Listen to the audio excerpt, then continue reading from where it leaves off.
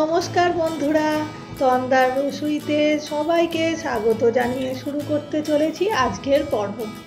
থামনেলটা দেখে মনে হয় আপনারা বুঝতেই পেরেছেন আজকের রান্নাটা একটু ভিন্ন ধরনের।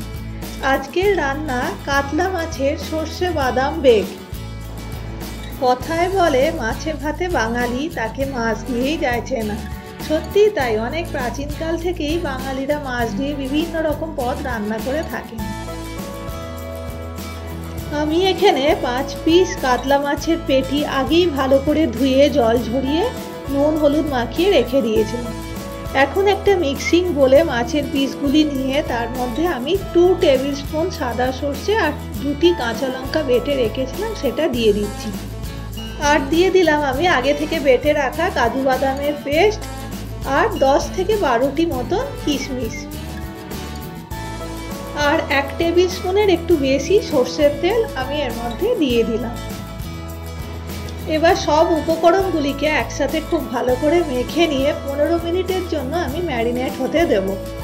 এক্ষেত্রে আর একটা কথা বলে রাখি, আমি পনেরোটি মতন কাজু বাদাম দশ মিনিটের জন্য ঈষদ উষ্ণ গরম জলে একটু ভিজিয়ে রেখে তারপর আমি বেটে নিয়েছিলাম।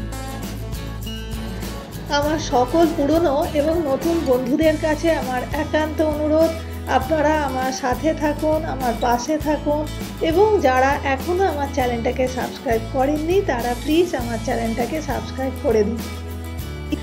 আর ভিডিওটা ভালো লেগে থাকলে একটা লাইক আপনাদের থেকে আমি আশা করছি, যেটা আমাকে পরবর্তী ভিডিও বানানোর জন্য অনেকটা উৎসাহ দিয়ে থাকে।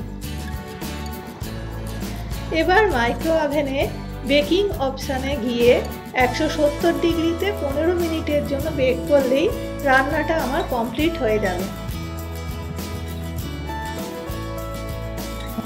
এই রান্নাটি ভীষণ টেস্টি হয় আর হেলদি তো বটেই, যেহেতু খুব কম তেল মশলা ইউজ করে হয় বলে।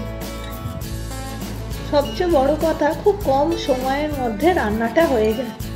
বাড়িতে কোনো অতিথি চলে এলে ঝট করে আপনি তৈরি করে দিতে পারবেন।